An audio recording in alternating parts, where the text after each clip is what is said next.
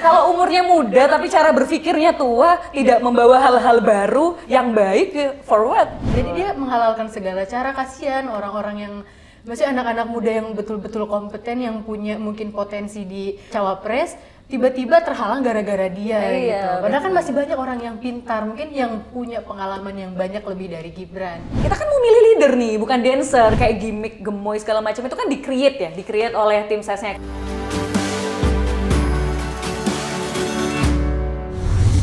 Selamat datang di channel Abraham Samad Speak Up. Hari ini tidak seperti biasanya. Kadang-kadang saya menghadirkan narasumber yang kelihatannya agak serius. Hari ini saya menghadirkan dua orang narasumber yang katanya orang ini generasi Z. generasi Z dan mereka cantik-cantik ya. Jadi agak minder juga saya hari ini. Saya langsung memperkenalkan beliau. Assalamualaikum warahmatullahi wabarakatuh. Waalaikumsalam, Mas Ah, Abraham. Ini dia Latifina Ali Umar. Halo. Ah, yang kedua Wulan Sari Mukhtar. Halo, assalamualaikum. Pak. Waalaikumsalam. Gimana kabarnya? Sehat? Sehat, alhamdulillah. Masih keliling-keliling temannya? Amin. Eh, Kemarin Samarinda. Samarinda. terakhir. Eh, karena sebenarnya kita pengen keliling terus Iya, ya. tapi kita tuh selalu dipaketin kan. ya. Iya, selalu dipaketin. bersama Jadi ke mana-mana. Vina sama Wulan tuh satu paket. Oh, Mas. satu paket aja. Satu. Karena Wulan kan representasi perwakilan generasi Z, Vina yang milenial. Kita Wah. saling melengkapi dari dua sudut pandang Oke, gitu. Kita kan. anggap aja kita generasi Z. Yes, oke, Supaya boleh. di sini generasi Z. Kita semua Win. generasi Z, benar. Ada yang menarik ya kalau kita lihat di kepala saya itu sejak awal sebenarnya saya menganggap sorry, I'm sorry kalau misalnya saya a priori pertama saya pikir generasi Z ini generasi yang ulan ya apolitis, Hmm, cuek, tidak peduli dengan apa kondisi politik kita. Dia lebih tertarik dengan hal-hal yang sifatnya mungkin gemoy, hal-hal yang Gimik. Gimik, betul sekali gimik. Dan tidak peduli dengan hal-hal yang sifatnya lebih serius. Tapi ternyata setelah fenomena Anies Baswedan saya melihat luar biasa juga nih generasi Z. Ternyata dia tidak apolitis. Oleh karena itu hari ini saya mau tanya nih, Ulan dulu nih, Oke. generasi Z. Generasi Z. Ulan, ini kan kalau kita lihat orang selalu menganggap Gibran itu anak muda, Win ya? Benar nggak anak muda dia? Betul. Ah, anak muda Yang tapi dibantu. punya spesifikasi anak presiden dan punya paman di MK. Wah, mantap nih jawabannya. Oke, kalau begitu saya udah paham nih, spesifikasinya beda ya? Iya dong. Lah Oke. kalau misalnya bicara hanya soal muda kan anak muda dengan pengalaman yang mungkin lebih mumpuni ya lebih panjang, kemudian lebih mumpuni, lebih eh, punya wawasan yang bagus. Itu mungkin lebih banyak Pak Abraham. Cuman Oh. ya kalau misalnya dibilang kayak gitu apakah semua anak muda di usia Mas Gibran bisa jadi cawapres? Kan tentu ya. tidak. dong. Belum. Jadi Ulan juga menganggap begitu ya? Iya, aku juga sama kayak Kavina. Karena maksudnya menurut aku banyak sekali orang-orang pintar sekarang kan apalagi ya ke- mungkin kita bukan anak presiden ya, jadi kita nggak bisa seperti Mas Gibran gitu. Oke. Jadi berarti kalau begitu saya bisa simpulkan, Win sama Ulan, bahwa Beda kalau nasib aja. misalnya praktek dinasti politik, politik keluarga kita pakai, nanti orang nggak ngerti nih apa dinasti politik. Politik keluarga yang dipraktekkan Jokowi, yang kita tahu semua, kalau ini terus-terus dilanggengkan, terus-terus dilakukan, berarti itu ada ketidakadilan ya? Waduh, itu menurut menurut kami sih itu jelas sangat tidak adil ya Mas Abraham. Eh, sebagai contoh, eh, karena kami di sini perwakilan Jubir Amin, jadi Oke. yang yang kita jadikan contoh Mas Anies ya. Oke. Mas Anies itu kurang kompeten apa? Oke. Bahkan dunia internasional mengakui kompetensi beliau. Hmm, gitu ya. Tapi beliau tidak bisa ujuk-ujuk umur 36 tahun menjadi cawapres. Karena apa? Karena beliau bukan anak presiden Oke. dan tidak punya paman di MK. Oke. Mas Anies menjadi rektor termuda di usia 37 tahun. Oke.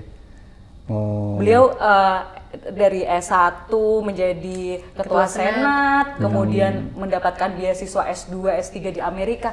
Kalau ditanyakan soal kompetensi, Ya. tidak ada yang mempertanyakan kompetensinya Mas Anies. Hanya saja Mas Anies tidak punya privilege sebagai anak presiden. Jadi nanti di usia 50 tahun lebih baru dia bisa jadi Nah. calon presiden ya. kan beliau juga melalui proses yang panjang ya Hmm, Mas panjang Abraham ya. ya Oke. dari uh, harus menjadi menteri dulu kemudian di reshuffle yang kemudian menjadi gubernur DKI baru bisa menjadi capres kan melalui proses yang panjang Oh, Oke. Oke, Ulan. Berarti kalau ini diteruskan terus-menerus praktek dinasti politik, saya tidak bisa membayangkan ya. Itu kan anak-anak muda itu ada dari Sabang sampai Merauke, yang pintar-pintar juga banyak. Tapi ada di pelosok, bukan anak siapa-siapa, mungkin anak petani. Bukan tidak punya harapan tidak punya harapan untuk menjadi cawapres di usia under 40 Oke. kalau harapan Benar. untuk menjadi anak muda yang uh, punya prestasi ya, punya prestasi pasti ya bisa ya. pasti semua punya harapan asal mau usahakan Oke. tapi kan tidak serta merta menjadi cawapres lah kecuali kamu anaknya presiden bisa Oke. baru bisa tuh kalau Ya di aku usia aku segitu, baca sih ya tadi kan? Kak Vina uh, katanya sekarang di Indonesia tuh susah cari kerja saking susahnya presiden aja nyariin anaknya kerjaan ya. Oh, ya, ya, ya, ya, ya, ya. Oke, Cakep, jadi berarti kalau begitu menurut Ulan bahwa kalau misalnya praktek dinasti politik ini terus-menerus berkembang dan tidak dihentikan, maka yang terjadi anak-anak pintar yang ada di pelosok daerah tidak punya kesempatan untuk menjadi pemimpin ya, karena dia bukan anak siapa-siapa. iya Betul itu itu malah mematikan semangatnya orang ya kalau Iya. seperti itu kalau dinasti politik ini terus berlanjut Oke. ya anak-anak yang mempunyai kapasitas untuk maju itu malah mungkin kayak merasa malu atau kayak aku nggak punya siapa-siapa ya Oh. aku nggak punya backup ya gitu gitu. Betul. Pasti dia merasa seperti itu. Kalau misalkan galau lah ya, Iya. kita bisa bilangnya. karena bokap gue nggak bisa jadi backup gue kan Oke, jadi ini ini berbahaya sekali ya. Artinya apa? Bisa membuat anak-anak itu jadi frustrasi ya.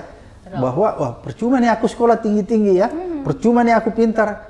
Tapi karena saya anak petani, saya bukan anak orang siapa-siapa sehingga saya nggak bisa memimpin walaupun saya pintar, walaupun saya punya leadership dan lain sebagainya. Itu itu bahayanya di situ ya. Iya, itu bahayanya di situ banget kamu. sih, bahaya banget bahaya banget sedangkan di Indonesia ini tidak kekurangan eh, anak-anak bangsa yang eh, kompeten yang mempunyai kemampuan yang luar biasa daya saing eh, kemampuan anak-anak bangsa kita bagus kok Mas Anies membuktikannya dengan Jakarta International Stadium yang dibuat semuanya di situ karya anak bangsa Oke. ada di situ Oke, berarti kalau begitu muda itu bukan solusi ya?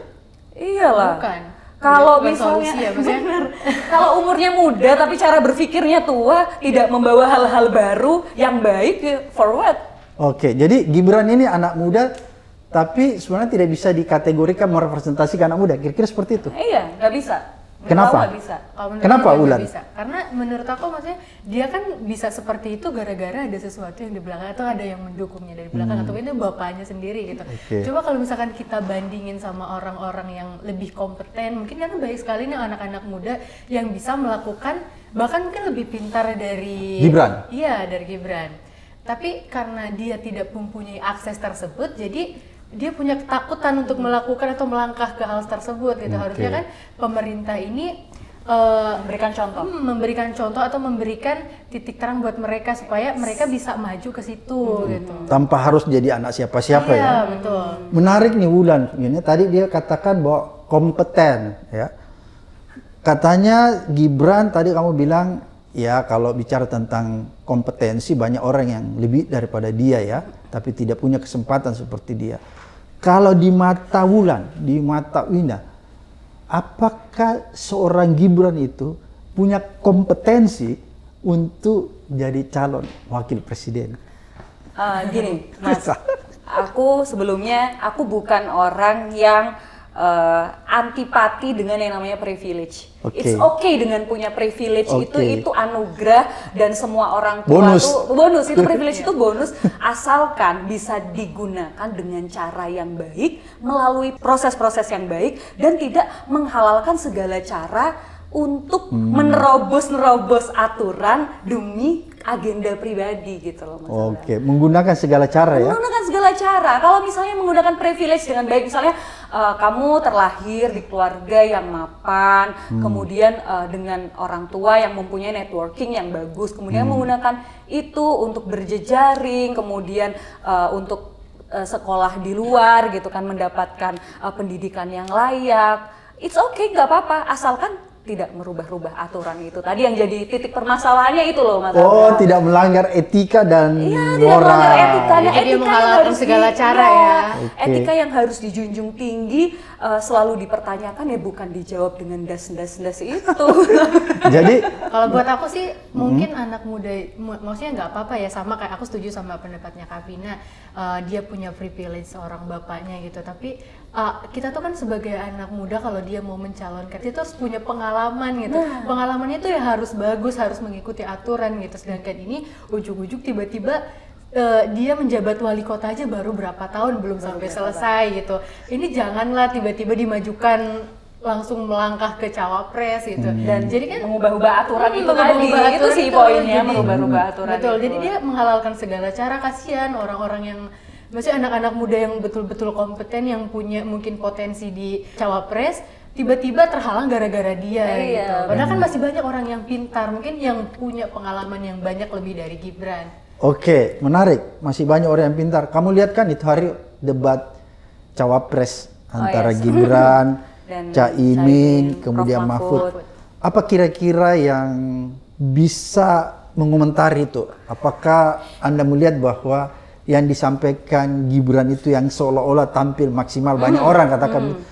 Padahal itu sesuatu yang natural atau memang itu diskenariokan seperti di setting lah kira-kira sudah begitu. dipersiapkan dengan baik sepertinya ya Mas. Oke. Eh, saya menilai sudah dipersiapkan dengan baik. Kemudian sebenarnya kita ini mungkin banyak yang terhipnotis dengan penampilan Mas Gibran yang seolah-olah menguasai panggung, menyampaikan eh, materi debat dengan percaya diri sehingga orang-orang terhipnotis. Padahal jika kita mau pelajari lebih teliti apa yang disampaikan itu banyak data-data yang masih dipertanyakan. Keliru ya, Kak? ya data-data yang keliru. Oke, di antaranya apa tuh? Eh, contohnya nih waktu mempertanyakan kepada Prof. Mahfud terkait karbon Nah itu itu kan pertanyaannya sebenarnya nggak nyambung ya. Itu belum di sesi itu namun ditanyakan di pada momen itu. Kemudian SGIE yang mana disampaikan de- eh, singkatan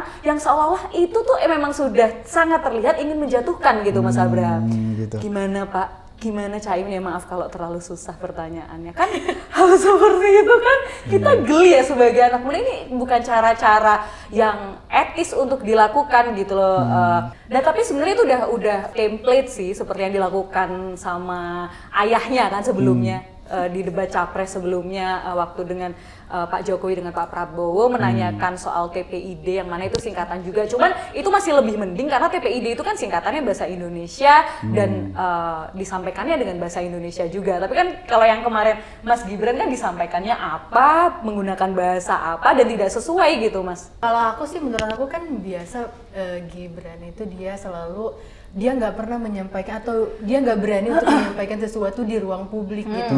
Terus sedangkan pas waktu debat dia bisa menyampaikan tapi menurutku datanya pun keliru gitu. Itu yang selalu. Tapi banyak pendukungnya ini kok bilang ih kok hebat, eh, itu maksudnya the power of Gibran gitu padahal dia bilang kayak gitu padahal menurut aku sendiri dia tuh menyampaikan data-data itu keliru Kavina iya apalagi banyak banyak data-datanya yang tidak sesuai. Jadi mungkin banyak banyak pertanyaan apalagi dari pendukung 01 kok Gibran bisa se ininya maksudnya se bisa bersuara gitu?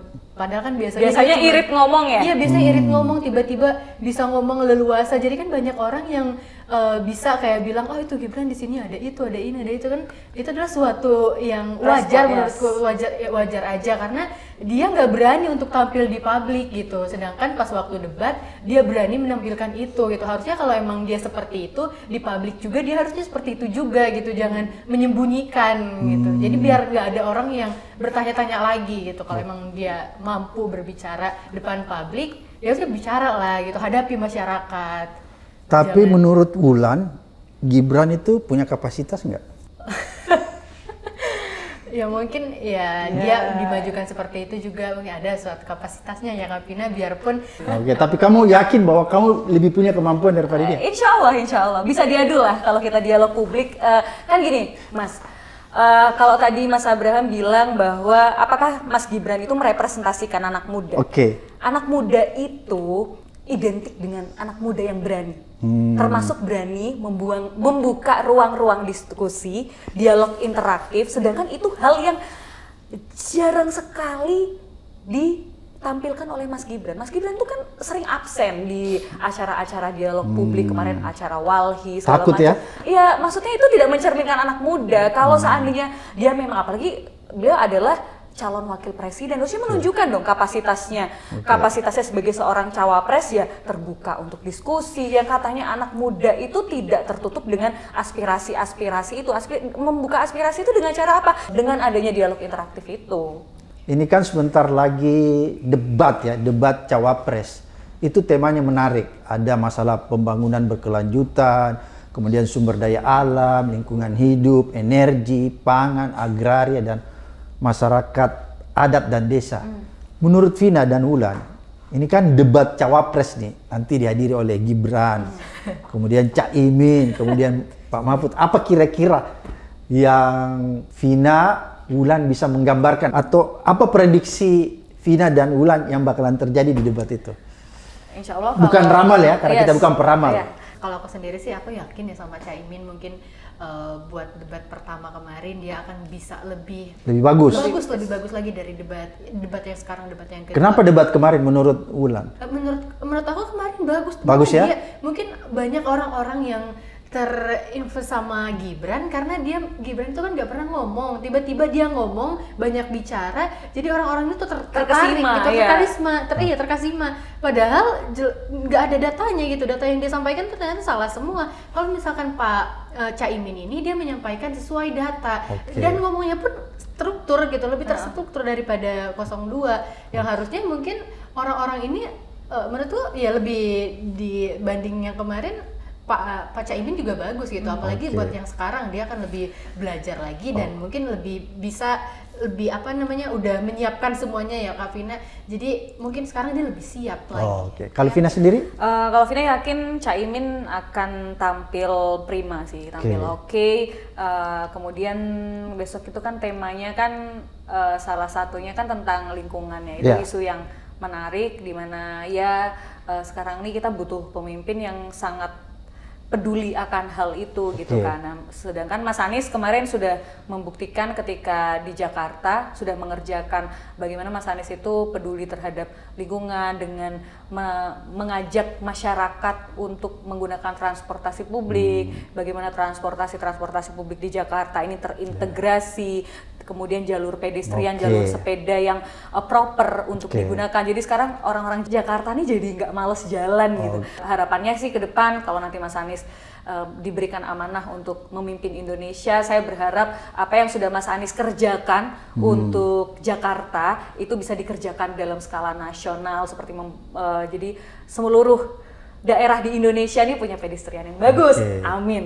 Oke. Punya transportasi murah bahkan gratis, amin. Transportasi yang terintegrasi, Oke, jadi besok Anda yakin bahwa debat cawapres itu pasti yang unggul Caimin. Cak Imin. insya Allah Sangat kita doakan insya aja. Oke. Semangat Caimin. Oke. Apa sih yang menurut Wina ya sama Wulan melihat bahwa Anies itu lebih unggul? Kan tentunya begini. Yes. Kamu menerima dari juru bicara Amin, begitu pula Ulan, itu karena kan ada sesuatu yang kamu lihat pada figur Anies ya, Anies dan Imin. Sehingga pada akhirnya kamu menjatuhkan pilihan bahwa saya akan mendukung Anies nih sama Imin.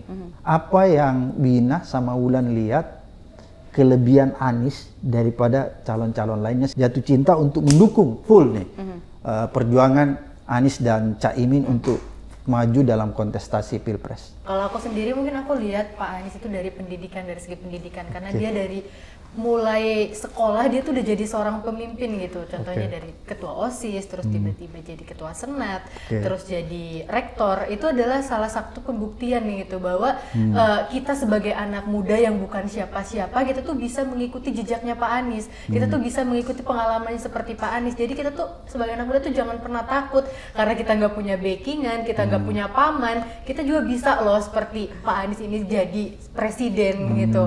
gitu. Ya itu sih yang mau aku sampaikan ke anak-anak muda. Oke. Kalau Vina tuh Vina jatuh cinta dengan adab beliau ya, adab beliau, kemudian jatuh cinta dengan bagaimana beliau itu mencintai negeri ini. Uh, jadi waktu Vina SMA itu Mas Abraham, Vina pernah wawancara beliau waktu Vina SMA. Uh, beliau waktu itu sebagai rektor termuda Hmm, di Paramadina. Iya. Terus Jadi Vina sebagai apa? Vina waktu itu reporter, reporter majalah sekolah. Oh, majalah sekolah. Oke. Uh, majalah pondok. Vina dulu di SMA-nya Mondok, uh, Oh, di pondok pesantren. pesantren. pondok pesantren di Asalam di Solo. Oke. Nah, uh, kemudian pada saat itu Vina Vina tuh reporter di Hmm. majalah pondok. Oke. Uh, datang ke kampus, kemudian wawancara beliau, beliau menerima dengan sangat hangat uh, dan memperlakukan kita waktu itu Vina bersama teman-teman itu dengan sangat baik, sangat welcome ya. uh, diperkenalkan oleh staf-stafnya yang ada di kampus. Kemudian sejak saat itu ya beliau ada role model saya, role model saya. Kemudian uh, setelah saya kuliah, uh, Vina kuliah waktu itu Vina uh, di BEM aktif di Badan Eksekutif Mahasiswa jadi eh, di Menlu. Kemudian ada acara sekolah politik. Vina punya punya program sekolah politik. Vina sebagai ketua sekpol itu kemudian mengundang Pak Anies. Cuman Pak Anies berhalangan hadir dan eh, beliau menggantikan menggantikan itu. Jadi karena beliau tidak bisa hadir, beliau nelok di, beliau eh, BBM Vina waktu itu masih BlackBerry Messenger oke. tuh. Masih BBM. Vin ini mau ke Solo nih, eh, bisa kalau mau diskusi sama teman-teman BEM. Jadi beliau tidak bisa hadir di Sekpol, tapi menggantikan dengan diskusi yang lain gitu. Itu luar biasa yang Mas Anies. Mas Anies tuh begitu menghargai sebuah undangan karena beliau tidak bisa memenuhi undangan yang lain, yang kemarin, kemudian Oke. menggantikan dengan diskusi yang lain. Nah waktu itu beliau membuat gerakan Indonesia mengajar. Hmm, Oke. Nah itu bertambah juga tuh rasa kagum Vina terhadap uh, seorang Anies Baswedan yang begitu besar mencintai negeri ini, bahkan kontribusi itu beliau lakukan jauh sebelum beliau mengikuti kontestasi politik. Jadi tanpa Mas Anies ik- uh, mengikuti kontestasi politik hari ini itu uh, kecintaan Mas Anies terhadap Indonesia itu sudah terbukti Oke. dengan mengirimkan putra-putri bangsa terbaik untuk mengajar di pelosok-pelosok sekolah, pelosok-pelosok negeri. Vin, pelosok tadi kan kamu bilang bahwa Anies itu memperlihatkan kecintaan yang luar biasa ya Yes. terhadap tanah air ini. Tapi kan semua capres juga seperti begitu, Pak Prabowo, terus kemudian Pak Ganjar juga kan seperti itu semuanya yang dia perlihatkan bahwa dia mencintai tanah air gitu ya. Bahkan kalau kita lihat Pak Prabowo sampai bilang saya mati dia ya kan gitu. Itu itu gimana kamu bisa menyimpulkan bahwa Anies lebih mencintai tanah air ini daripada calon-calon lainnya? Eh, kalau Vina meyakini ya bahwa eh, dari ketiga capres cawapres semuanya pasti punya kecintaan terhadap Indonesia. air, itu sudah Indonesia. pasti ya sudah pasti. Cuman mungkin eh, kalau kita di sini eh, dalam konteks memilih seorang pemimpin tentu eh, selain kecintaannya terhadap tanah air dan sebagaimana komitmennya untuk membangun negeri, membangun negeri dengan itu tadi kepedulian Mas Anies terhadap pendidikan. Oke. Karena Mas Anies percaya bahwa pendidikan itu memang tugas negara secara konstitusi itu itu Oke. tugas negara ya, tapi secara moral itu adalah tugas dari setiap orang yang terdidik. Nah itu dari situ eh, saya mempercayai bahwa Mas Anies ini selain beliau cinta dengan negeri dan beliau komitmen untuk membangun negeri melalui pendidikan sebagai gerakan pertama yang harus dikembangkan. Oke. Kalau buat aku sendiri sih yang aku seneng sama Bapak tuh eh, yang membedakan dari ketiga paslon itu dia tuh bisa dialog politik. Dia dia tuh bisa Cakep. mengajak masyarakat untuk menyampaikan apa sih yang menjadi permasalahan hidupnya atau punya isu-isu apa di dalam em, masyarakat tersebut. Dia bisa menjawab secara langsung bahkan dia bisa mendekatkan dirinya ke masyarakat yang kayak masyarakat itu merasa dia tuh seperti ya Dekat. nih ya dekat karena ki- langsung menyampaikan ke pemimpinnya langsung bahkan Oke. menyampaikan ke calon presidennya langsung gitu. Dan Pak Anies ini menyampaikan solusinya dengan baik atau dengan bijak gitu. Dia pun aku yakin eh, aku lihat ya dari selama dia menjabat sebagai gubernur DKI dia pun memenuhi program semua program yang dia jalankan dan aku yakin dia menjabat sebagai presiden ini dia akan menjalankan program tersebut sesuai visi misinya yang udah dia buat Oke, Ulan. Ulan ini kan hukum ya, backgroundnya hukum. Lihat nggak itu hari debat Anies ketika masalah hukum dan masalah pemberantasan korupsi kan? yang pertama. Pertama kan, pasti kan kau bisa membedakan tuh antara Pak Anies, Prabowo dan Pak Ganjar. Apa sih keunggulan Anies atau apa yang membuat Bulan semakin yakin sebagai orang yang punya background hukum bahwa wah Anies ini memang hebat. Dia memang bisa kita harapkan keunggulannya bapak itu dia selalu menyampaikan apa-apa pakai data gitu. Oke. Aku sukanya lihat Pak Anies itu dia bisa menguasai yang mungkin bukan eh, notabene dia dari backgroundnya dia, tapi dia bisa menguasai itu gitu. Oh, dia bisa maksudnya menguasai. kamu bilang walaupun bukan bidangnya dia bisa Ah menguasai. betul betul banget. Saking Gitu. luasnya literasi Saking, iya, dia. saking. Bahkan uh, aku heran sama Pak Anies nih, dia sampai memikirkan sesuatu gitu loh, Kapina sampai K-pop dia pikirin, sampai kayak bahkan aku aja nggak tahu gitu. Tapi kenapa dia seorang calon presiden? Dia tahu itu gitu. Bahkan banyak lihat aku komen-komen, ih Pak Anies saya tiap hari makan buku ya tuh. Soalnya saking pintarnya Saking gitu. pintarnya, ya. Semuanya dia ambil itu saking pintarnya dia dan yang aku suka tuh ya dia selalu menyampaikan apa pun pakai data gitu. Dari paslon-paslon yang lain juga mungkin ada yang menyampaikan pakai data juga. tapi eh, Pak Anies ini dia dengan lugas dengan dia happy eh, maksudnya dia menyampaikan itu secara tegas gitu. Jadi aku lihat itu "Wih, ini keren banget gitu sebagai pemimpin kita nanti. Itu kan kalau kita lihat itu hari ya, dia sampaikan bahwa kalau dia jadi presiden, dia bilang gitu ya, saya akan menggolkan sesegera mungkin tentang undang-undang perampasan aset. Saya akan melakukan pemiskinan lewat undang-undang perampasan aset dan mengembalikan undang-undang KPK seperti dulu lagi supaya KPK lebih kuat, tidak lemah seperti sekarang. Kamu punya harapan nggak setelah Pak Anies ngomong begitu? Ya, aku punya harapan sih karena kan sekarang nih hukum di Indonesia ini gampang banget diubah-ubah sama penguasa atau lebih condong, maksudnya lebih tajam ke bawah dan tumpul ke atas gitu ya. Oke. Harusnya masyarakat ini kan udah pada tahu juga, masyarakat ini udah pada pintar, masyarakat ini udah pada kayak oh ini nih hukum hukum ini nih ya harusnya seperti ini gitu. Sedangkan pemerintahan sekarang ini dia mengabaikan gitu. Maunya tuh ya dia bisa lebih ke masyarakat gitu, lebih condong ke masyarakat. Harusnya dia dengan programnya Pak Anies akan mengubah ya aku setuju supaya dia bisa lebih mementingkan masyarakat, lebih me wewenang masyarakat itu supaya didengar gitu. Bahwa hukum itu ya kita harus sama rata menyamaratakan jangan jangan sampai kita cuma tajam ke bawah aja sedangkan yang di atas-atas ini mereka dengan nyaman gitu. Sedangkan mereka itu menikmati uang rakyat gitu. Hmm, jadi Wulan mau katakan bahwa saya sangat yakin kalau misalnya Anies terpilih sebagai presiden, insya Allah hukum di Indonesia itu ditegakkan, Iya, aku yakin. gitu ya. Aku Dia yakin. equal ya, tidak Karena mungkin memilih-milih ya. banyak orang yang ketakutan ya, bahkan para penguasa aja tahu mungkin kalau Pak Anies ini baik gitu, tapi mereka takut untuk memilih Pak Anies karena mungkin ada sesuatu atau something di belakang yang membuat mereka takut akan kekuasaannya lengser. Oke, jadi Ya mungkin seperti itu ya. Bulan semakin yakin bahwa kalau Anies terpilih jadi presiden, hukum di Indonesia itu ditegakkan, tidak ada lagi orang yang bisa tawar menawar tentang Hmm. hukum, walaupun dia orang hebat, dia bisa saja dihukum ya, karena Iya, equality before the law ya. Seperti begitu kira-kira. Iya, betul banget. Oke, kalau begitu apakah Wulan semakin yakin bahwa kalau misalnya nanti Anies terpilih jadi presiden, dia bisa membawa Indonesia ini menjadi negara yang besar, negara yang diperhitungkan lah. Ya, kalau aku aku yakin banget sih Kak. Yakin? Aku yakin, kenapa? Karena ya Bapak ini, Pak Anies ini bahkan sebelum dia jadi capres sekarang, dia selalu mendapatkan penghargaan-penghargaan nasional, penghargaan internasional dan aku yakin dia itu akan dihargain ketika dia eh, sebagai presiden gitu dan Oke. mungkin dia akan membawa budaya-budaya Indonesia ini lebih ke dunia internasional, lebih terkenal lagi gitu. Contohnya kayak K-pop sekarang atau makanan-makanan Indonesia. Mungkin dia bisa mengenalkan dan mungkin dia lebih akan membawa Indonesia ini ke eh, hal yang lebih baik lagi, bahkan yang lebih keren dari sekarang gitu. Aku sangat yakin sama Pak Anies. Oke, Vina, Hmm. ini kan acara desak Anies. Uh, tiba-tiba luar biasa ya kalau menurut saya. Tapi lagi-lagi saya melihat acara desak Anies ini kan mengumpulkan orang, mengundang orang untuk datang, kemudian dia bercerita dan dia berdialog langsung dengan konstituennya.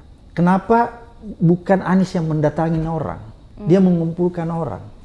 Kalau menurut Vina ya, eh, jadi tren desak Anies ini alhamdulillah ya alhamdulillah berkat kerja keras semuanya yang terlibat eh, saya mau sebelumnya saya mau apresiasi yang sebesar besarnya untuk teman-teman ubah bareng yang mengcreate program Oke. desak Anis kemudian sekarang ada loker timnas Oke. ada ekspedisi perubahan yang itu eh, kalau kalau desak Anis kan Pak Anisnya kalau Caimin kan ada Slep Petimin Mm. kemudian loker timnas itu diisi oleh Co-captain. co-captain ya Oke. eh, timnas Amin lah timnas Amin kemudian ekspedisi perubahan oleh eh, timnas Amin juga gimana kita tuh eh, Pak Anies itu komitmen komitmen Mm. untuk kampanye yang mencerdaskan Oke.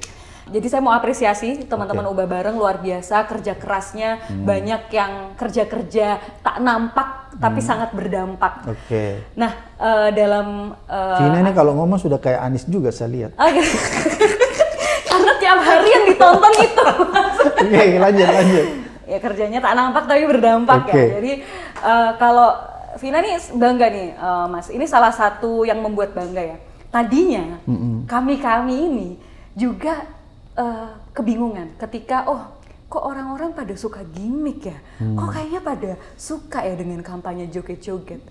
Tapi kita tetap pada eh, komitmen Mas Anies untuk kampanye yang mencerdaskan. Kita nggak boleh terbuai dengan itu. Kemudian kita ikut untuk kampanye seperti itu. Kita ini kan Jadi- mau cari leader bukan Oke, dancer ya, Oke, Mas jadi ya. Anis anu gagasan ya. Eh, Gagasan. Nah, Oke. adu gagasan dengan dengan adanya desak Jadi bukan mau itu mencari apa? Tadi kamu bilang mau bukan men- Mau- mau, mau mencari leader. leader, bukan mencari dancer. dancer, ya Oh, kan? oke. Kita kan mau milih leader nih, bukan dancer. Oke, Jadi jadi berarti yang lain dancer.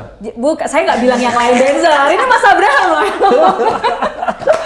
Bukan gitu, tapi eh, ketika yang yang Ya, kan porsi gimmicknya nah, joget-joget, Porsi yang lebih banyak dipertontonkan tuh kan adalah gimmick yang joget-joget itu. Ketika ketika ada ada waktunya untuk eh, berpidato, kan sempat ada videonya itu. Nggak usah pidato, mending lihat saya joget aja. Oke. Ya kan kita kan ini mau cari pemimpin di mana kita butuh nih butuh uh, pembanding Oke. mana pemimpin paslon 1 dari paslon 2 paslon 3 masing-masing gagasan ini apa yang ditawarkan untuk Indonesia ke depan? Oke. nah Mas Anies kan komitmen itu komitmen untuk kampanye yang mencerdaskan. Beliau terbuka dengan dialog-dialog interaktif. Kemudian desak Anies itu yang semula diadakan untuk anak muda kemudian banyak yang protes ternyata Mas. Oke. loh jangan anak muda doang dong kita kita juga pengen ikutan. Akhirnya dibuat segmen eh, petani desak Anis nelayan desak Anis. Kemudian besok ini akan ada eh, nakes desak Anis. Jadi apa? Pe- pentingnya belanja masalah untuk tahu nih kita harus tahu harus belanja masalah itu sama orang yang mengalami situasi itu langsung mas. Sehingga tahu apa yang dibutuhkan sih oleh masyarakat? Apa sih yang dibutuhkan oleh guru kita? Apa sih yang dibutuhkan oleh anak muda? Apa yang dibutuhkan oleh tenaga kesehatan? Apa yang dibutuhkan oleh guru honorer? Itu kan bisa kita dapatkan dari pelaku pelakunya yang bersangkutan gitu mas. Iya. nah saya di situ sih eh, kenapa? Tadi kan Mas Abraham sempat nanya kenapa Vina dan Wulan eh, mantep gitu untuk eh, memilih berjuang bersama paslon Amin? Ya karena kami meyakini kami berjuang eh, pada sosok-sosok yang mengedepankan kecerdasan, mengedepankan Gagasan. eh, gagasan, Oke. mengedepankan program-program yang itu bermanfaat untuk masyarakat dan tentunya bagaimana keadilan dan keberpihakan itu dikedepankan. yang menurut Pak Abraham tadi yang dibilang katanya kenapa nggak Pak Anies yang mendatangi masyarakat Iya. biasanya yang mendatangi masyarakat itu malah yang bagi-bagi sembako ya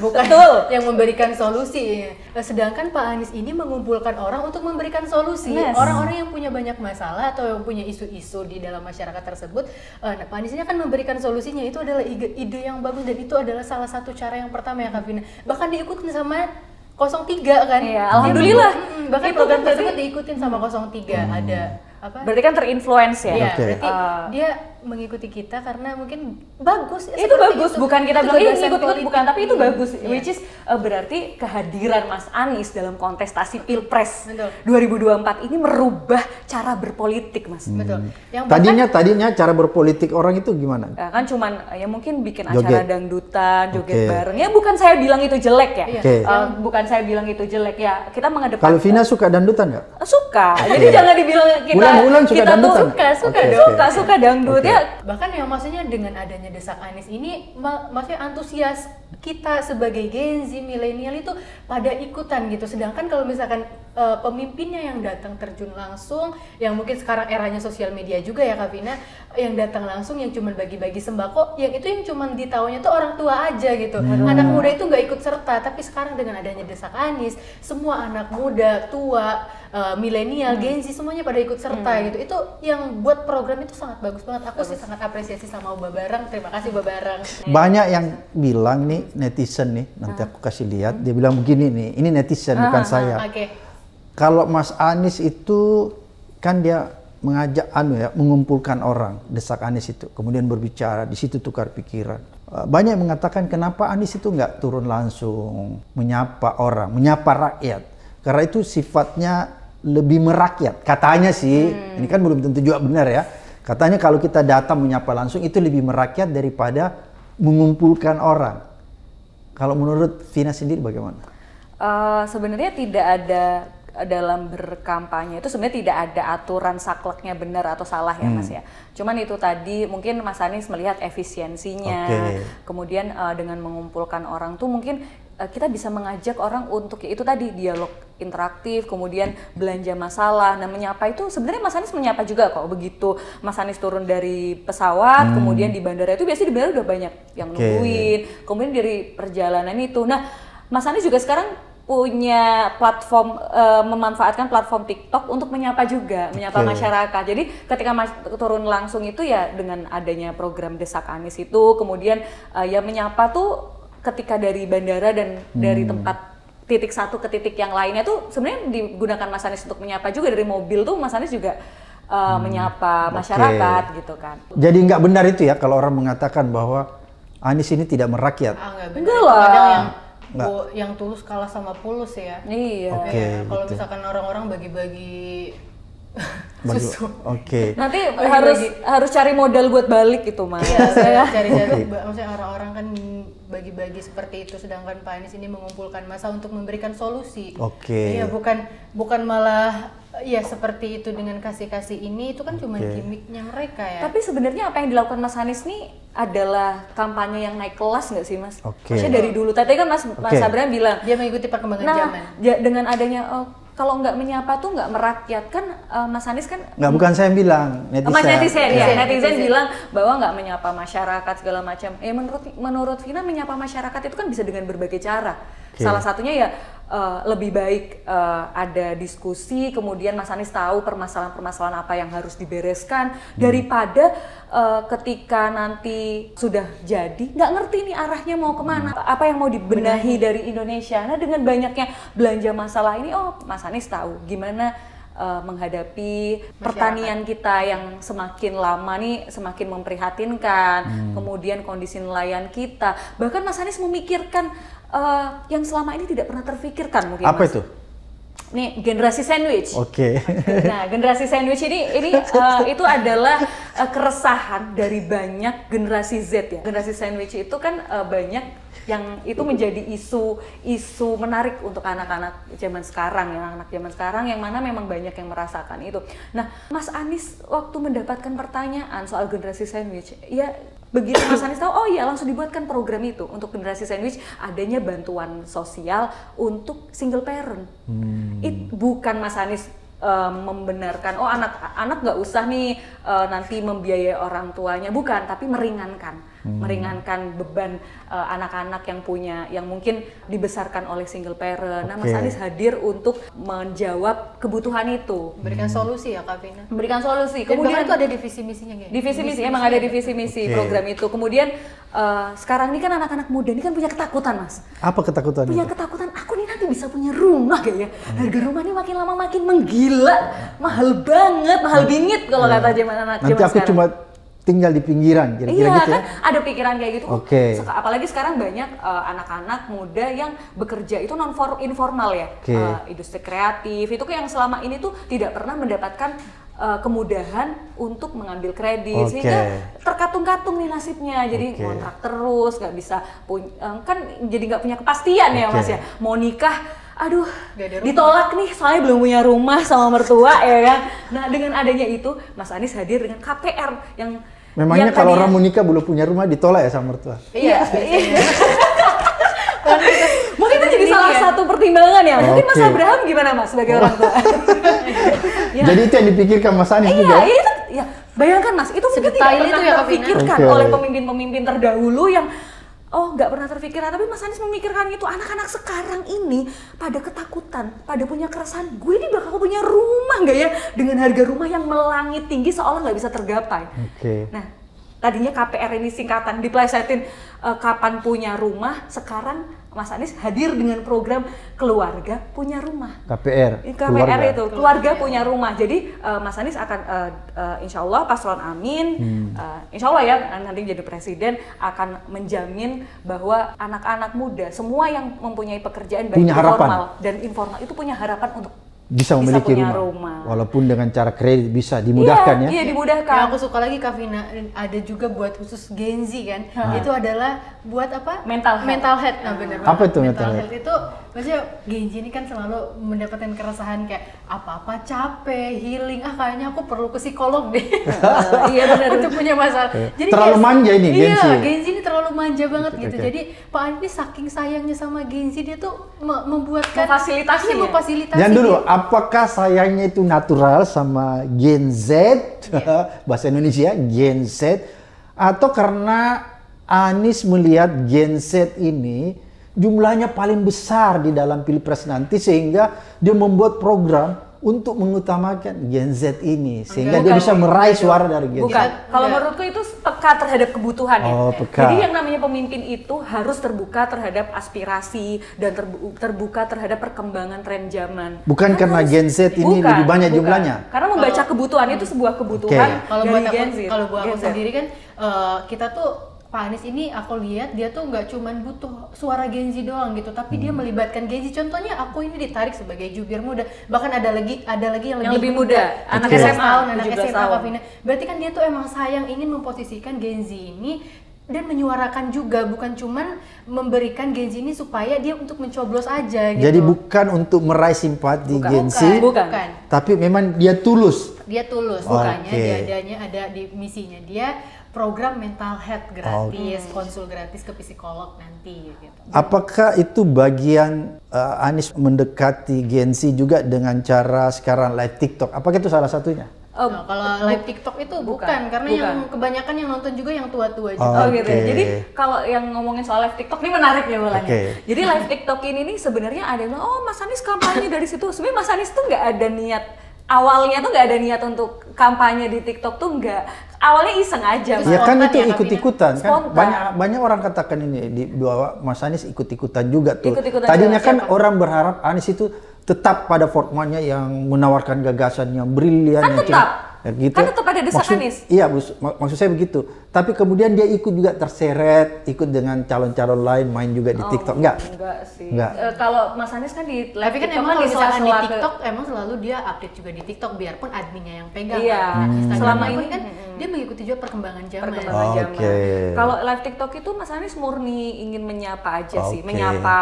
Eh, kemarin sebenarnya iseng aja terus eh, ya beliau ini seorang eh, benar-benar memperlihatkan seorang figur ayah ya, Oke. yang kemudian banyak yang curhat. Oke. Mas Anies bingung, oh ternyata kayak gini ini bacanya gimana ya kok cepet amat ya kayak gini ya. Kan Nah, kan jadi kamu ajarin Anies di main TikTok itu tadinya nggak bisa dia. bukan kita sih yang ngajarin sih, kita siapa juga siapa kaget. bulan bulan yang ngajarin? Oh, enggak, bukan Kan tadi kamu bilang bahwa pertama dia nggak bisa dia. itu gini. itu waktu pas Iya. live kelihatan. Oke. Wah, kita eh, jadi waktu pas Mas Anies live ini aku juga, hah kok bapak live sih tumbenan banget Tumben nih. Live. Terus aku ya, terus bapak lucu banget kan kayak yang oh caranya kayak gini. Oh ini Gak bisa juga matiin nggak live bisa matiin live-nya. Ya beliau terlihat seperti eh, seorang bapak yang tidak mau ketinggalan zaman. Ya apa Oh. sih nih anak gue lagi main apa sih? Gue juga pengen tahu gitu. Kepo gitu. Bahasanya Oke. Eh, ini orang tua yang kepo terhadap eh, apa yang biasa dimainkan anaknya sehari-hari. Dan which is itu good. Kan berarti kan beliau tidak skeptis dengan perkembangan zaman. Kan biasanya kan ada orang tua yang enggak ah aku udah tua nggak mau ngurusin kayak gitu. Pak Anies tuh selalu pu- mempunyai rasa ingin tahu oh cek kayak gini jadi beliau Iya. selalu belajar hal-hal baru Dia tidak pernah membedakan juga Kak Vina. nah itu dia jadi belajar itu seumur hidup Seumur hidup ya. Jadi TikTok juga dia coba lebih lebih mendalami lagi ya. betul. Walaupun dari awalnya kalau menurut Vina tadi dia sempat kelabakan juga ya. sama Iya. itu ada nggak yang kasih masukan misalnya Vina atau Bulan, Panis main di TikTok. Jangan-jangan kamu berdua yang kasih Enggak sih, bukan bukan kita sih. Benar, jujur nih, jujur. Enggak, jujur, jujur bukan kita. Oke. Bukan, bukan kita. Jujur Ya, bukan kita. ini banyak netizen curiga nih sama Wulan sama Vina nih. Katanya yang dorong-dorong Pak Anies main di TikTok itu Itu maksudnya main TikTok atau live TikTok? Live kamu TikTok, bisa- live TikTok. Oh, live TikTok itu enggak ada, itu karena spontan dia. Spontan Oh. aja Dia itu karena mungkin lagi di perjalanan. Lagi ya di perjalanan. Oh, ya mungkin ada. Tapi pernah nggak uh, Wulan bilang, Pak Anies sekali-sekali dong live TikTok pernah nggak gitu atau Oh, Vina? enggak pernah. Enggak sih. Nggak Vina pernah sama sekali? sih. Jadi kaget, Vina juga kaget Jadi, tuh Bapak itu spontan? TikTok. Spontan. Iya, kita Kamu juga kaget? jubirnya kaget, kaget. kita kaget loh. Aku posisi waktu itu lagi di Semarang ya, lagi di Semarang, kemudian lihat, loh kok bapak tuben nih live TikTok. Aku, aku kirain acara, emang acara apa jam segini? Kalian tuh live pertama tuh jam 11 malam. Oke. Aku pikir, emang ada acara apa jam 11? Biasanya kan bapak emang live TikTok untuk acara desak Anies. Oke. Eh, dan itu pun cuman di standingin aja kan, handphonenya bukan yang eh, bapak kan kalau yang Iya. live TikTok kan emang kamera Iya, selfie kamera gini biasa, kan, backgroundnya Iya kan? mobil, kursi mobil gini kursi gitu mobil, seperti idol-idol K-pop itu Mas Abraham. Jadi Oke. bapak kan disamakan dengan idol K-pop karena idol K-pop itu suka live di sela-sela di dalam perjalanan pulang atau di sela-sela kegiatan ya kan Wulan. Kalau Vina sendiri senang live TikTok sama Wulan? Oh iya, pernah pernah kita live TikTok. Oh, pernah ya? Setelah Dan Pak Anies sih tapi kalau aku. Iya, setelah Pak Anies. Dan Oke. lumayan juga banyak antusias masyarakat yang kayak mungkin tanya programnya Pak Anies apa, tanya visi misinya apa karena mereka tahu juga kita sebagai jubir kan Hmm, pada tahu kita Iya, jubir. dan kita tuh ya menyampaikan juga oh ini program-programnya seperti ini gitu. Dan menurutku Pak Anies live itu adalah suatu yang bagus gitu. Bagus banget. Kenapa dia tuh dia tuh adalah sosok bahkan sosok sek- sekarang bisa dibilang dia tuh sebagai abah TikTok, Abah Oh, nasional. Abah TikTok iya dia punya. Oh, jadi dipanggil Abah sekarang, Oh, ya? karena Abah TikTok ya? Iya, dan yang Oh. kebanyakan yang nanya-nanya itu adalah generasi Z yang memiliki keresahan atau yang mungkin Hmm. Kekurangan figur memiliki- ayah. iya, ingin memiliki sosok figur ayah dan ini Pak Anies ini selalu memberikan solusi yang baik gitu, pol- solusi yang relate sama kondisinya dia gitu. Iya, Oke. Ya kan selalu kita lihat kalau Pak Anies ini selalu harmonis sama keluarganya dan Hmm. mungkin banyak genzi-genzi ini yang merasa cemburu atau iri gitu. Hmm. Dia tuh mau seperti itu tapi figur ayah ini nggak ada gitu. Oh, Makanya oke. Pak Anies dengan Pak Anies live ini dia tuh melengkapi kita semua supaya ya kita Ya, yang Dia tetap menemukan ayah, figur bapak ya, gitu. nggak punya bapak itu kita bisa merasakan itu semua ya. Hmm. Jadi Mas Anies itu dinobatkan netizen uh, Iya. warga TikTok sebagai abah nasional itu itu kita yang menobatkan ya Mas, bukan di-create kalau kayak gimmick gemoy segala macam itu kan di-create ya, di-create oleh tim sesnya. Kalau ini tuh bukan bukan tim ses Jangan yang jangan dulu. meng-create Jadi gitu. gemoy ini di-create. Di ya jelas di-create lah.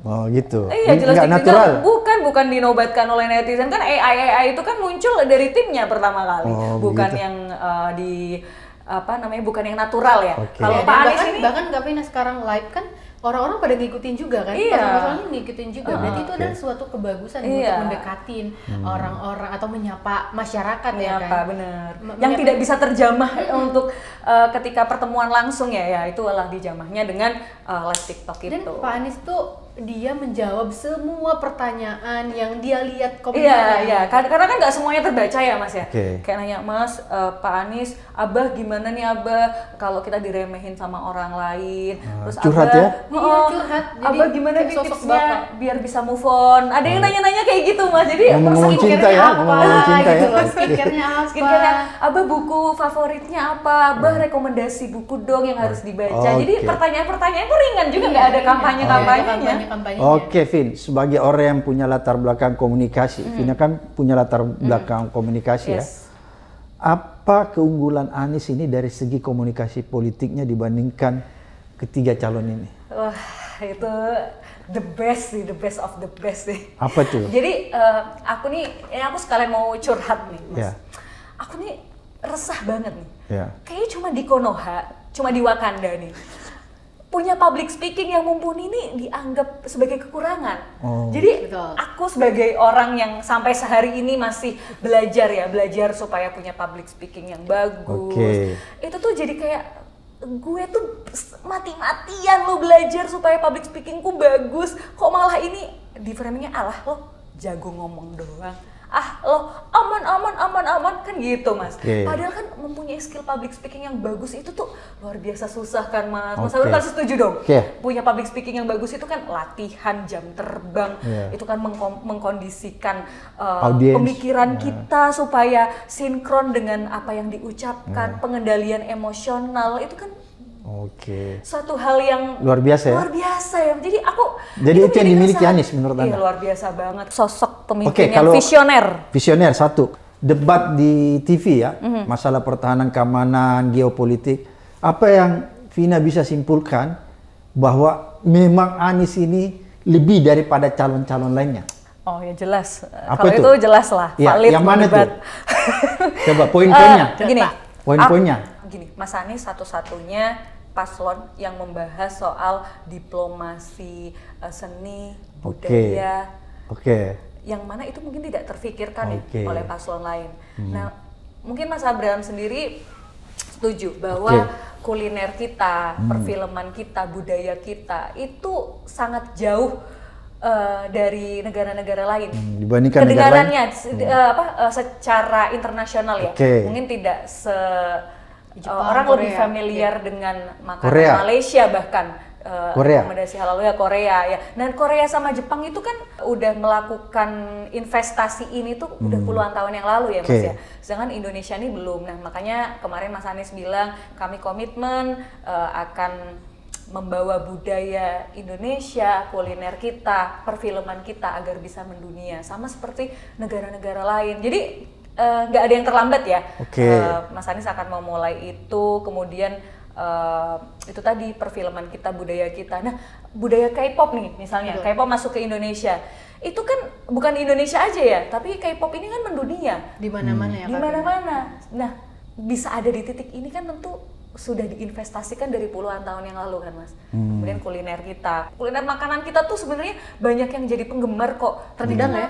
Iya, rendang, nasi padang, soto. Itu orang-orang luar tuh pada suka kok ketika udah nyobain pada ketagihan kok. Oke. Tapi malah tidak kedengaran ketika kita berkunjung ke Eropa, Amerika. Mungkin rekomendasi halal food itu mal- malah didominasi oleh makanan-makanan Malaysia, makanan-makanan India. Nah, itu salah satu yang Menjadi kekuatan ya? yes, aku yakin Indonesia bisa mendunia. Oke, itu kan banyak yang mengatakan juga ada salah satu paslon mengatakan bahwa debat yang terakhir dilakukan Anies itu katanya lagi-lagi katanya lebih menyerang kepada hal-hal yang sifatnya personal. Menurut tanggapannya Vina itu gimana? Sebenarnya yang personal tuh siapa ya, Mas? Aku malah bingung. Iya. Yang bilang Mas Anies, Mas Anies, Mas Anies ini perlu belajar ekonomi lagi. Mas Anies ini datanya salah. Mas Anies ini profesor, Anda tidak pantas seperti itu. Kan yang personal siapa dong, Mas? Yang Pak Anies tanyakan itu kan terkait data. Iya. Oke. Data yang mana itu yang postur eh, Pertahanan. eh, pertahanan ya, Iya. bukan strategi militer yang ditanyakan. Oke. Jadi kalau kalau menurut Vina sendiri bagaimana tuh yang pertanyaannya Anies yang mengenai tanah 500 ribu hektar? kalau menurut Vina sendiri sebagai kaum milenial, sebenarnya kaget nggak dengar itu?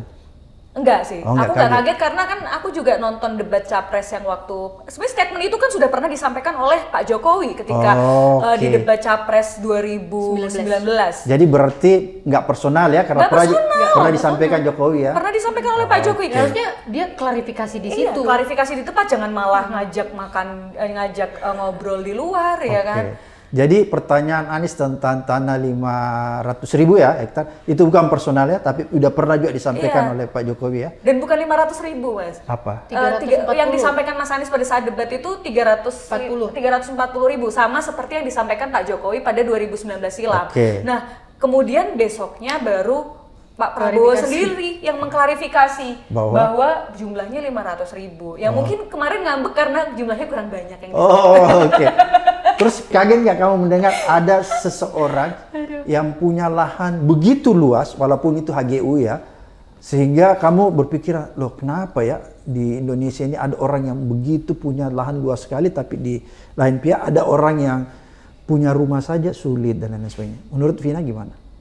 Hmm. Ya inilah yang yang yang makanya Mas Anies uh, dan Caimin ya selalu mengedepankan prinsip kesetaraan, keadilan itu yang dikedepankan Oke. bahwa karena kami mem- uh, yakin bahwa uh, untuk sekarang ini keadilan dan keber- keberpihakan pemerintah itu masih sangat jauh ya Mas ya. Hmm, oke. Nah itu dilihat dari situ aja harusnya pemerintah punya solusi-solusi yang berpihak pada rakyat bukan Oke. pada penguasa. Bukan pada oligarki ya? Oligarki. Nah Oke. yang terjadi hari ini terlihat sekali bahwa pemerintah ini seolah tidak mengedepankan eh, prinsip-prinsip keadilan itu Oke. tadi. Nah itu makanya itu kita butuh perubahan. Oke, oleh karena itu menurut Vina dan Wulan bahwa pertanyaan mengenai tanah itu bukan personal ya? Sangat karena itu tidak perlu ya? personal. Iya. Oke. Kalau seandainya itu personal, kenapa eh, itu dikatakan personal ketika Mas Anies yang menanyakan Hmm. dan tidak dianggap personal ketika Pak Jokowi yang menanyakan? Oke. Oke, jadi itu Kenapa inti- dibedakan? Oh, Kemudian Jokowi juga menganggap itu personal ya? Berarti ini nggak adil ya? Eh iyalah, Ya, Bapak lupa apa gimana? lupa rekam jejak lu- lupa rekam digital Oke, Oke. Oh, mungkin Bapak lupa kalau ada jejak digital itu ada dan netizen kita ini udah pada pinter-pinter begitu itu eh, disampaikan dia langsung keluar tuh jejak digitalnya di mana wah emang netizen Indonesia nih luar biasa Oke. ya kan langsung keluar semua jejak digital. Oke, oleh karena itu menurut Vina dan Wulan apa yang disampaikan Anies pada malam itu adalah sesuatu yang perlu diinformasikan kepada rakyat ya? Perlu Betul, dong. harus harus terbuka dong, Nah. harus Oke. sesuai datanya. Coba kalau misalkan emang ada apa-apa, klarifikasi aja gitu, Oke. jangan marah-marah atau jangan bilang omon-omon gitu. Emang dia kan menyampaikan pakai data ya. Harusnya kalau misalkan emang dia nggak suka atau menyangkal, coba jangkal juga pakai data. Oke. Jangan bilang ya begini-begini malah marah-marah atau bilang omon-omon. Datanya itu salah, nggak kayak gitu datanya. Nanti saya akan bisa jelaskan kan nggak? Ya kalau misalnya memang datanya salah, ya dikelirkan malam itu juga di Oke. tempat itu juga. Ya itulah gunanya pemi- pemimpin. Pentingnya pemimpin itu jago ngomong, ya karena pemimpin itu harus bisa mengelaborasikan ide dan gagasannya. Oke. Iya. Itulah, di, itulah kenapa penting public speaking. Jangan dulu, jangan dulu. Lokasi Pemimpin harus jago ngomong atau harus jago kerja yang mana nih? Loh. Dua-duanya Oh, lah. dua-duanya lah. Nggak bisa cuman dua-duanya. jago kerja doang. Kita mau cari seorang pemimpin Oke. nanti dia tuh bakalan ketemu sama pemimpin-pemimpin yang lain juga. Dia tuh kelasnya kepala negara, ini kelas skala internasional. Oke, jadi gitu. menurut Ulan pemimpin itu harus bisa ngomong selain bisa kerja. eh, bisa ngomong, Satu bisa kerja kesatuan. juga. Oke. Jadi Jadi- boleh juga. Jadi kalau ngomong pinter ngomong itu kan nggak asal ngomong Pak Abra. Memang oke. Makanya sebagai gini-gini kita disekolahkan sama orang tua supaya kita dapat pendidikan, supaya kita bisa membicarakan atau mengeluarkan apa yang Oke. apa yang seharusnya kita keluarkan gitu. Jangan malah yang pintar ngomong dibilang pintar retorika. Itu kan iya emang bagus dibilang pintar retorika ya siapa sih yang nggak mau dibilang pintar Oke. retorika? Aku pun mau gitu Kak Vina dan mungkin bahkan nanti ketika aku udah dewasa udah punya anak gitu. Pengennya Oke. kalau nanti kita punya anak, Iya, aku aku pun mau pengen punya anak sepinter Pak Anies ya kan? pengen Oke. banget gitu ya kan seperti itu. Tapi Punya pengen anehnya- suami seperti Pak Anies ya? Anehnya kenapa? Iya, amin aja dulu ya. kan? Amin, itu amin tuh. Iya, amin aja dulu ya. kan? Amin. Dan aku heran kenapa orang-orang ini nggak suka sama orang yang berretorika. Oke, berarti menurut Vina orang yang sudah lama ikut sama Pak Anies, Pak Anies ini bukan pemimpin yang sekedar bisa ngomong, tapi memang sudah membuktikan bahwa dia adalah pemimpin yang bisa melaksanakan tugasnya dengan baik. Itu terbukti dengan apa yang dia lakukan di Yes, Jakarta. Seperti betul. gitu ya kira-kira. Iya, eh, seperti yang eh, Mas Anies itu gagasan, Oke. narasi, Oke. karya.